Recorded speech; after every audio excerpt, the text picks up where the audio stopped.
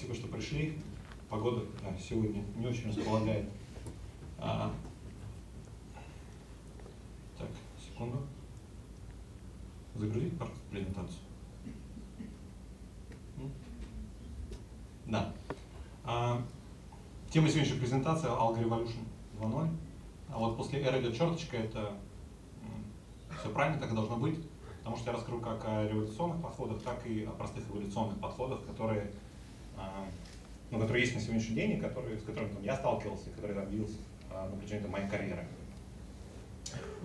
А, моя презентация будет состоять там, из четырех больших пунктов. Это я расскажу про историю алготрейдинга, как, как мы пришли к тому, что есть сейчас. Я расскажу про, что с этим не так, почему текущие подходы работают плохо или не работают вообще. Наверняка увидели кучу классных звук-тестов, классных презентаций, а, где можно заработать миллионы, но при этом никто эти миллионы не зарабатывает. А, дальше я расскажу про, про то, как складывается Quant Research сейчас а, в больших домах, в больших фирмах, и расскажу, что все еще может пойти не так. Вот, слайд номер один, он про 20-е годы, как все начиналось.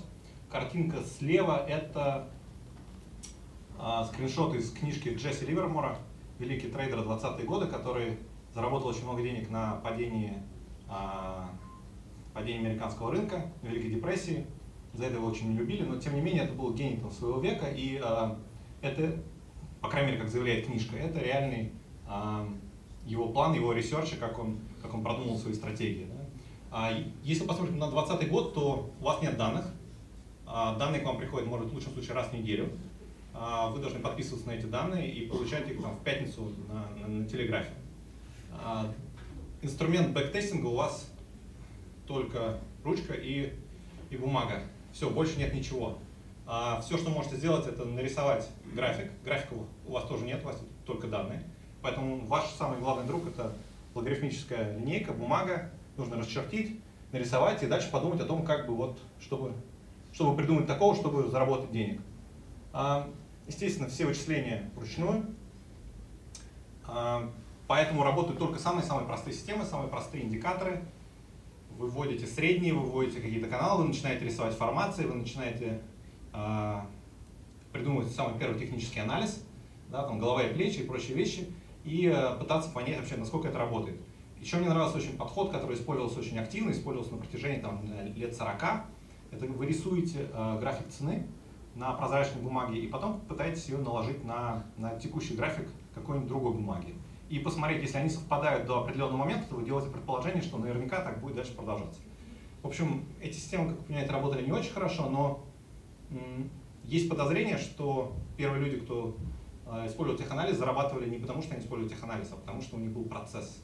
У них был процесс сбора данных, у них был процесс сбора информации, получения информации. И в то время информация была главная. И если у вас были просто цены, то вы уже были впереди там, 95% тех, кто играл на бирже. А дальше 70-й год. Да, у вас появляется система теханализа. Вот слева наверху это скриншот из CQG а, терминала, но текущего. Старого CQG не нашел, хотя очень искал активно. Вот, но по сути, по сути ничего особо не изменилось. Да, да, у вас появились данные, да, вы можете там получить у провайдера данные за, за, за предыдущие, не знаю, 10 лет. Но, тем не менее, вы смотрите на место бумаги и, э, и ручки, да, у вас появился некий терминал, где вы можете построить или посмотреть те же самые формации, вы можете посмотреть, как, как что работает или как что не работает, сделать предположение, попытаться найти, долго-долго-долго смотреть на график и попытаться найти работающую систему. Ну, не очень помогала, да. То есть она, она это делала уже потом, к концу, к концу 90-х. То есть а, внизу, вот, справа и слева это, это видно, здесь за, за диванами это не очень видно. Я показал мою любимую фигуру теханализа голова и плечи. Супер субъективная штука. Она работает только тогда, когда вы знаете, что она работает. Все остальные случаи вы можете сказать, что оп, нет, это не голова и плечи, это каналы. И, и есть еще масса фигур теханализа, из которых как бы, можно сделать голову и плечи. А Минус этих штук в том, что их очень сложно проверить на бэктесте, а вы всегда видите, книжки показывают вам только примеры, да, и по большому счету обучение происходит как? Вам говорят, вот посмотрите, есть такой есть такая формация, да, она работает, вот пример, вот еще пример, вот еще пример, и дальше вы торгуете. Все это привело к чему? А, появляются некие суперсистемы. Это официальное название, они продавались там за бешеные деньги, и дальше был клуб людей, назывался клуб 3000, потому что эти системы стоили 3000 долларов, они покупали эти системы, дальше распространяли внутри этих клубов. А вот. В принципе, все системы, а, так у вас появились а, backtesting, программы для бэктестинга, там Омега, Метасток, брокеры и прочее, прочее, прочее, то если... Да, WorldLab, но WorldLab появился уже совсем после. Омега, по-моему, появился в 70-е, 80-е годы. Если вы долго-долго смотрите на график, вы наверняка найдете что-то. Что-то найдете, и вам покажется, что это работает. Вот. Можете это проверить, пролистав все, но пользы будет этого не очень много.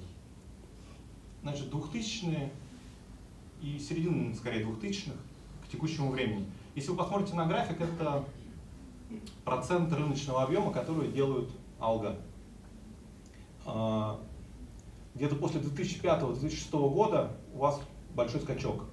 Это соответствует принятию РГНМС в Америке, в принятию закона о National Best Bidding Offer, а, которая и позволила развиваться тем алго, которые есть сейчас, и HFT, которые есть сейчас в Америке. Вот объем начал нарастать практически экспоненциально. А, что у вас появляется в это время? У вас появляется брокерский API, соответственно, приходит автоматический execution, у вас появляется много-много данных, у вас появляется тик, тиковые данные, у полный ордер-лог, вы можете использовать машин learning, вы можете использовать искусственный интеллект, а, но к чему я все это веду? Да? Если, если вы посмотрите на эволюцию, да, то вначале у вас была бумага, потом у вас появились системы, потом у вас появилось просто еще больше данных, еще лучше системы. И по факту многие люди, которые обучались там на книжках, они видят, видят тот подход, который э, продавался последние там, лет 30. Вам показывают удачные сценарии, рассказывают, как этими удачными сценариями пользоваться, при этом не говорят, работают ли эти сценарии. По факту трейдинг развивался до 2000-х, наверное, совершенно обособленно от э, научного комьюнити и даже гэмблинг комьюнити. То есть если сказать игроку в покер, что посмотреть 7-2 против двух тузов, там, а, а, они бьют и показать там, примеры, когда это работает, да, никто на это не купится. Потому что всем очевидно, что два туза имеют преимущество там, в 85% случаев плюс.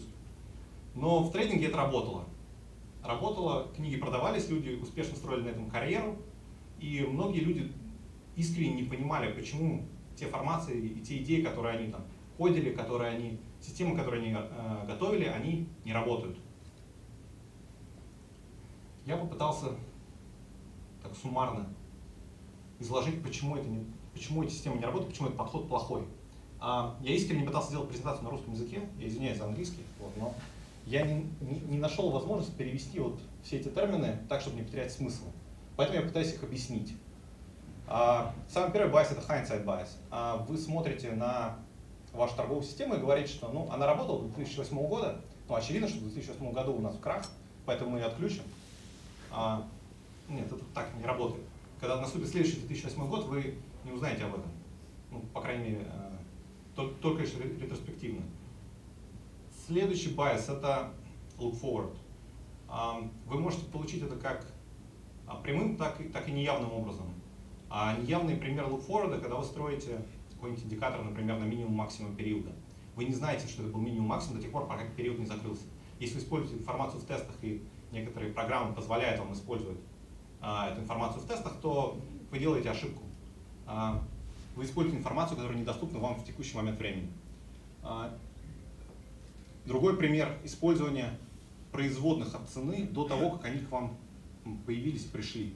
Ну, то же самое, как использование волатильности, использование объема закрытия бара, например. Все это вы знаете только ретроспективно на момент закрытия и еще с какой-то задержкой.